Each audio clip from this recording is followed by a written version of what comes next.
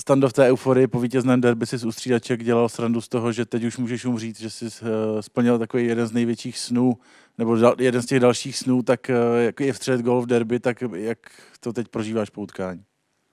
Tak samozřejmě je to pro mě, pro mě obrovská radost, já jsem na to čekal fakt dlouho a, a opravdu je to věc, kterou, kterou jsem si vysnil jako malý kluk a, a dneska se mi to konečně splnilo, takže mám obrovskou radost. Jak bys ten zápas hodnotil? Ten vstup nebyl úplně podle našich představ, ale postupem času se zase dokázala na hřišti ukázat ta pravá Slávia. Přesně tak, tak ono eh, to bylo fakt těžké, protože bylo vidět, že kluci mají těžké nohy a, a opravdu se s tím hodně prali.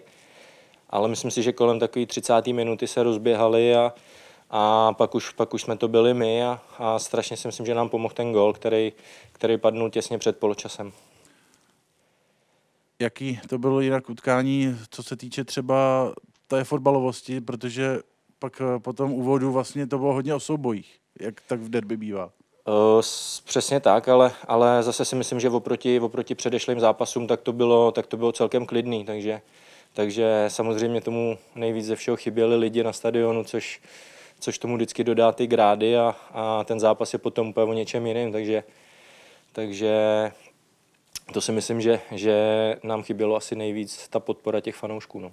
Ty jsi šel do hry ve druhé půli místo Honzy Kuchty. S jakými úkoly jsi tam šel? Protože jak trenér, tak i Tomáš Holeště obrovsky chválil, že si tým jako hodně pomohl. Tak eh, co byly ty úkoly? No, tak eh, samozřejmě chtěli jsme držet balon, uh, museli, nebo měli jsme se vyvarovat nějakým těm, těm lacenějším ztrátám a, a ten zápas kontrolovat, což si myslím, že, že že potom jsme vlastně, vlastně plnili, protože Sparta, Sparta se nic nevypracovala, myslím si, že nás ani pod žádný tlak nedostala a že ten, ten konec jsme zvládli dobře.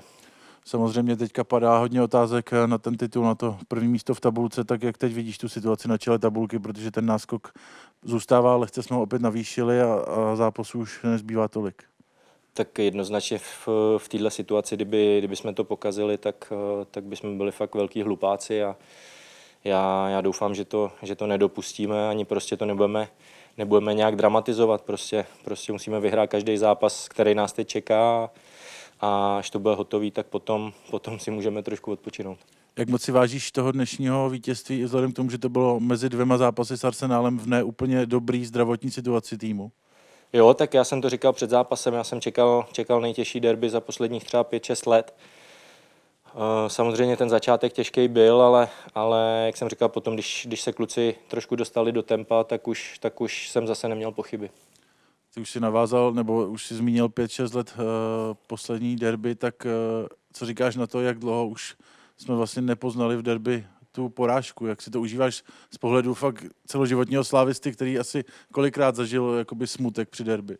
Jo, tak musím říct, že když jsem byl malý, tak, tak většinou jsem byl smutný já, tak samozřejmě o to víc si toho asi teď vážím a, a na druhou stranu, na druhou stranu mě zase před každým zápasem děsí to, že, že bychom mohli prohrát a, a ta série by skončila. Samozřejmě jednou se to stane, ale, ale doufejme, že to ještě, ještě nějaký ten pátek vydrží.